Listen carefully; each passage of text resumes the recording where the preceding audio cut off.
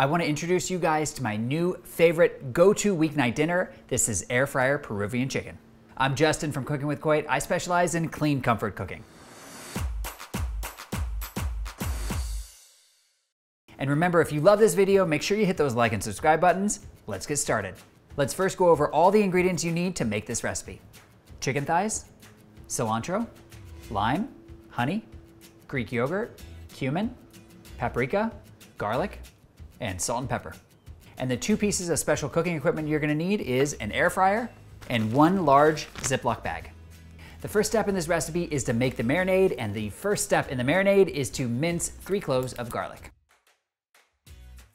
The next step is that we're gonna marinate the chicken. So take your plastic bag that I called out earlier, your Ziploc bag, and what I like to do is make it into like a little bit of a bowl shape. So I just take the edges and I roll it over, just like this. You can roll it over probably twice should be fine. And then I spread out the bottom and it should sit just like a bowl. Next, you're gonna add the chicken to the bottom of the bag.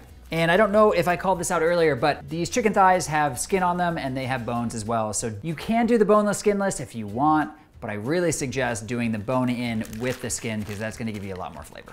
The only downside to having the bone-in chicken thigh is that it does take a little bit longer to cook in the air fryer, but not a substantial amount of time, probably just like between five and eight minutes more. Next, we're gonna add in our spices to the marinade. So we're gonna first start with two teaspoons of paprika. We're also gonna add one teaspoon of cumin and one teaspoon of salt. The type of salt doesn't really matter for this recipe so much to me. Um, I'm just using a basic sea salt. I'm also gonna add in a quarter teaspoon of black pepper, Next, let's take our minced garlic and drop it right on top of the chicken, just like this.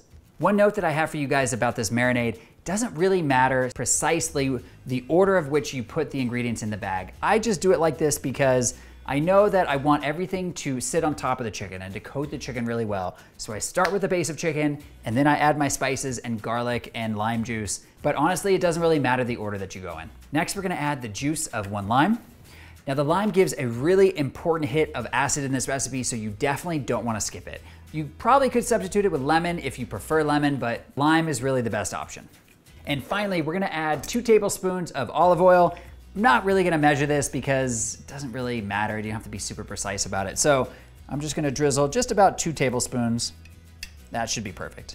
All right, so I'm gonna roll up the sides of the bag now. Now I'm going to zip the Ziploc bag almost entirely closed. I'm gonna leave just a little bit of the bag open at the very end. And the reason why I do this is that I wanna squeeze as much of the air out as I can. This is gonna help me to be able to massage the marinade into the chicken pieces as well as possible. So just squeeze as much air as you can out. And then what you can do at the very end, just close off the rest of the Ziploc bag. And then what I like to do, just lay it out onto your cutting board and just start massaging the chicken just like this. It's like we're at a day spa for chicken. So just massage it in there just like this. You wanna try to get all of that seasoning, all of that lime juice and olive oil fully coated on the chicken. And once you feel like you've done a pretty good job of spreading the marinade all over the chicken, what you need to do is pop this into the refrigerator and you can let it marinate for anywhere between one and three hours. Try to do at least, at least a half an hour. An hour is better. Three hours is the best, but I know everyone's always in a rush, so don't worry about it. While the chicken is marinating, it's best to get a head start on the cilantro lime crema sauce, which is so good. Like you're gonna love this sauce so much that you might even just like put it on other things other than this recipe and I just guarantee you you're gonna love it. The first step in making this sauce is to rough chop one cup of cilantro. So you don't have to be too worried about making it perfect. I just literally cut the majority of the stems off and this feels like just about a cup. Next, we're gonna add a half a jalapeno, which I have already cut, and I took out the seeds of the jalapeno too. Unless you like it really spicy, you can keep the seeds in there, but I don't like that level of spice, so I took them out. So this is half of a jalapeno. You're also gonna add one clove of garlic and a half a cup of Greek yogurt. This is five ounces, which there's eight ounces in a cup. It's a little bit more than a half a cup, so I probably won't put all of this in, but almost. Next, I'm gonna add one teaspoon of honey, and the honey gives such a nice and subtle sweetness to the sauce. You're really gonna appreciate it. And then, you know, the honey is always gonna stick to your uh, teaspoon measurement tool, so I just add a little bit more typically. Next, we're gonna add one teaspoon of salt. Uh, I just use my teaspoon for the honey, so it's a little sticky. Uh, I'm just gonna do this by eye. So this should be just about a teaspoon of salt. This should work out perfectly. And lastly, we're gonna add two tablespoons of olive oil. And there's two. Now, if you guys wanted, you could add uh, one more tablespoon of mayonnaise or sour cream if you wanted to make it a little creamier, but I'm gonna keep it a little cleaner, a little healthier, so I'm not gonna add those things. Now let's just blend this until it's smooth.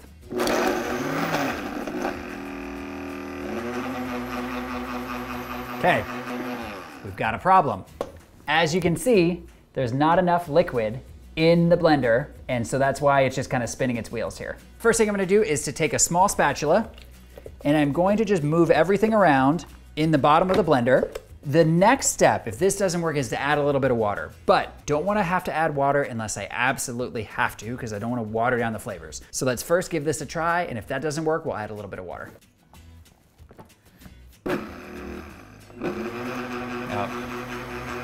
Same thing. Okay, no problem. I'll be right back. I'm gonna add a little bit of water.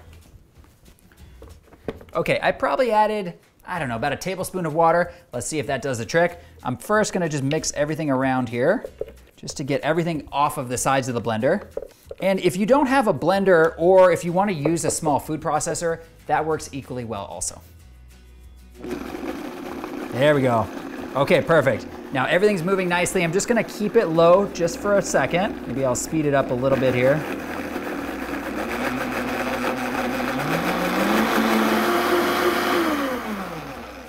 All right, let's see how we did.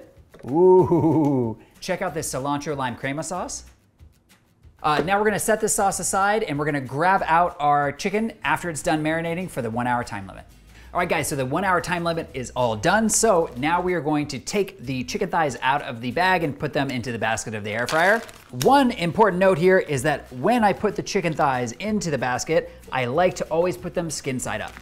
And since these chicken thighs already have plenty of olive oil on them, you don't really need to waste your time and spray the inside of the basket.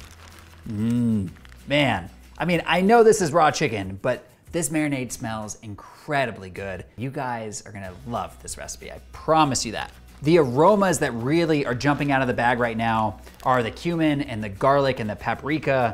I love this marinade so much. All right guys, so let's pop this chicken into the air fryer. And we are going to cook these at 370 degrees Fahrenheit for anywhere between 18 and 25 minutes. These chicken thighs, the ones that I bought, are probably about medium size. So I'm actually gonna set it right in the middle to 22 minutes and let's see how we do there. You wanna cook the chicken until it reaches an internal temperature of 165 degrees Fahrenheit and then it's done.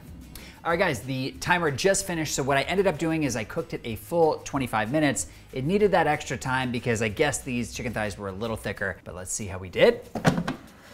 Whoa, Okay, look, how incredible these chicken thighs look. Now, what you're gonna notice is, is that they're probably gonna come out a little crispier on the outside, maybe even a little bit darker. And don't worry, they're not burned. What's happened is, is that the seasoning has just sort of created a crust around the chicken thigh. I promise you the meat inside underneath the skin is gonna be super tender and delicious. So what I always do and what I always tell everyone to do, whenever you're cooking any meat at all, especially with an air fryer, always double check it with an instant read digital thermometer. You wanna make sure that with chicken, it reaches an internal temperature of at least 165 degrees Fahrenheit, and then you know it's safe to eat. So let's just double check and make sure that we did a good job here. Looks like we're at 173 degrees and that is absolutely perfect. I cannot wait to give this air fryer Peruvian chicken a try. But before I do, if you love this recipe and you wanna see more just like it, check out my air fryer recipes playlist.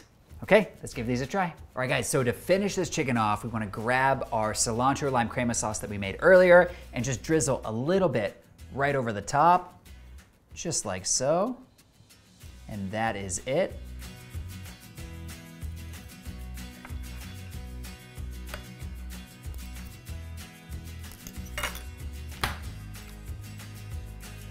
This air fryer Peruvian chicken is so quick to make. It comes together so fast and you guys are gonna love the cilantro lime crema sauce. It really is the perfect complement to this chicken. I really hope you guys give this recipe a try. See you in the next video.